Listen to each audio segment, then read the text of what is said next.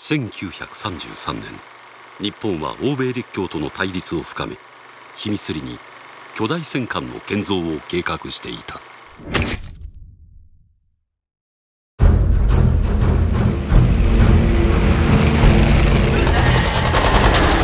世界最大かつ最強の戦艦だよ。この船の名はヤマト。彼らの戦艦は戦争への一本道断ち切らねばならない。お断りする。軍人というやつが大嫌いなんでね。君が噂の天才か。数字は嘘をつかない。数学で戦争を止めようとした男がいた。